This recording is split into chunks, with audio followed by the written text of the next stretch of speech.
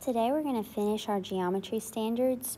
We skipped over standard G5, which was focused on angles, and we're also going to come back to standard G9, which is focused on volume.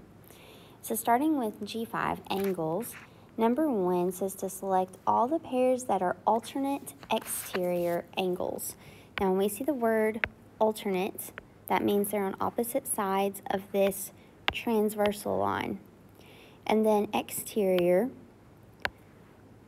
that means they are outside these two parallel lines. So an example of alternate exterior angles would be angle 1 and angle 7. They're on opposite sides of the transversal and they are outside the parallel lines. Another example would be angles 4 and 6. And these are both the pairs of alternate exterior angles. Number 3, in the figure, D, E, and F are parallel lines. What is the value of x? For one thing, we don't even have to use D. That's extra information. One thing I do notice is that this angle is obtuse. This angle is acute. They are not the same. But if I were to take this angle 60 degrees and move it up here, then I can see that these two add up to 180 degrees. So I'm going to add them together and say, well, 60 plus x minus 30 equal 180 degrees. So I'm going to solve this for x, which is what it's looking for. So 60 minus 30 is 30.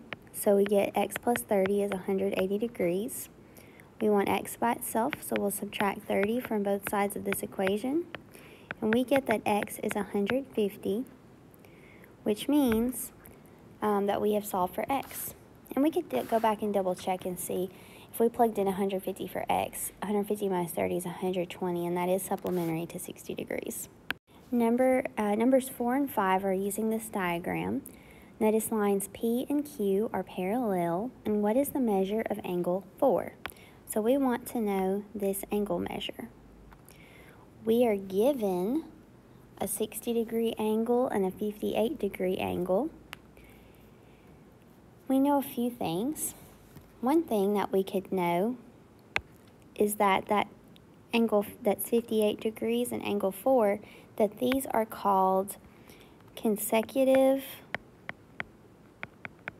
interior angles.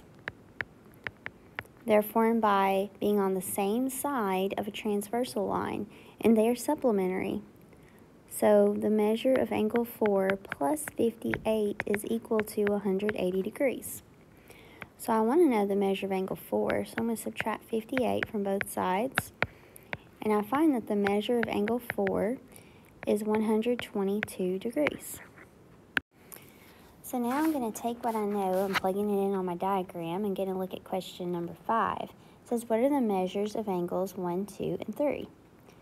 And once again, you can often find these different ways. Um, I'm going to start with angle 1. I notice that angle 1 and 60 degrees are alternate interior angles. So the measure of angle 1 is 60 degrees. And we can say that it's an alternate interior angle. Okay. Angle 2. Well, angle 2 and 58, they are congruent because, once again, they are alternate interior angles.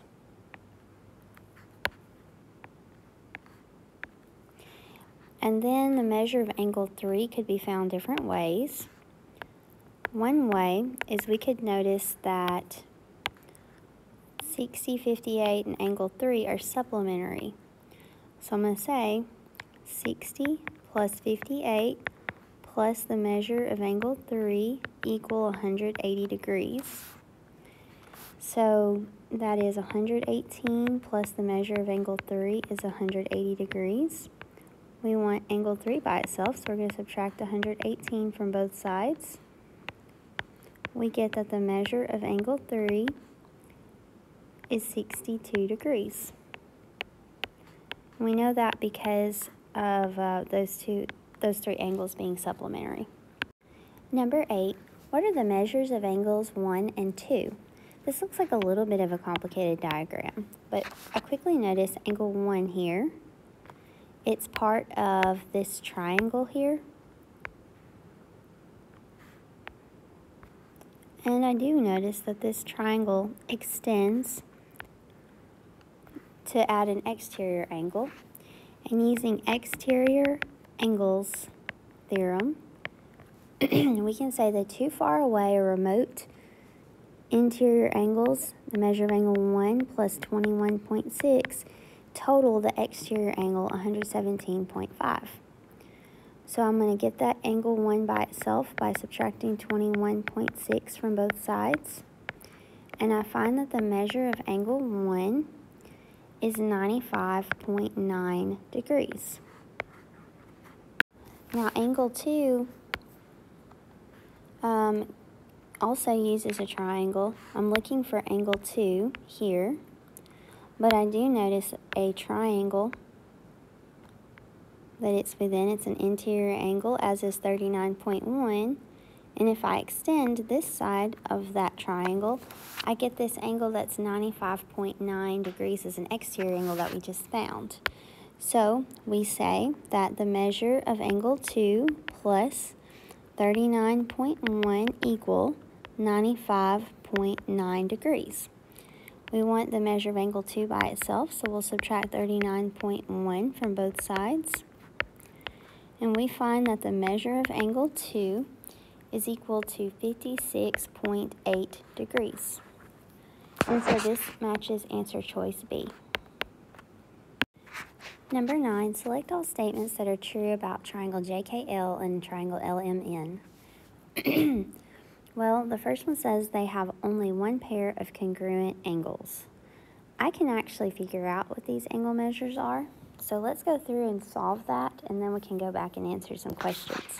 So one thing that I notice is we have two lines that cross, which means that these two angles that are formed on opposite sides of these crossing lines are vertical and have the same measure. So I can say this, that 5x plus 15 is equal to 4x plus 25, and I can solve that for x. So I've got an x term on both sides, I'm going to subtract 4x from both sides.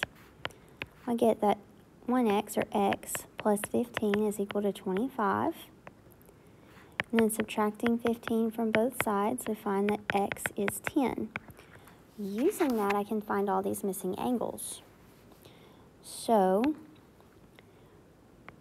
5x plus 15 is 5 times 10 plus 15, which is 65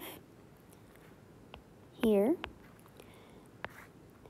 4x plus 25 is 4 times 10 plus 25, which is 65 here. So those angles, of course, have to both be 65 because they're vertical.